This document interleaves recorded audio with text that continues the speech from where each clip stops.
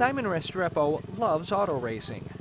He fulfills his need for speed as president of USF Society of Automotive Engineers. During the fall and spring semester, we design and build a car, and during the summer, we uh, compete against 100 plus universities from around the world.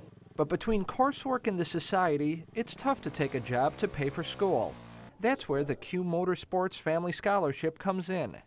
Having this help, this relief from the scholarship, it helps me to focus more on the studies, focus more on the team. Restrepo was one of the many students honored at the USF College of Engineering's Heart of Gold Scholarship Awards. This is our opportunity to get together and celebrate our donors and our students, uh, donors that are sponsoring over 100 students and scholarships that make a tremendous difference in the students' educational experience. While the mix of corporations, professional societies, and individuals donated over $200,000, the reasons for their contributions varied.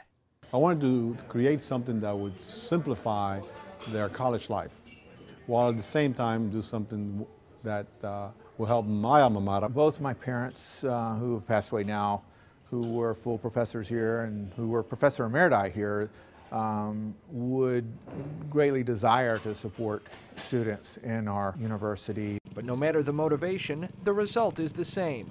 Dozens of students benefit, both now and in the future. For University Beat, I'm Mark Schreiner. For more information about this University Beat or to view previous segments, log on to WUSF.org and click on the University Beat link.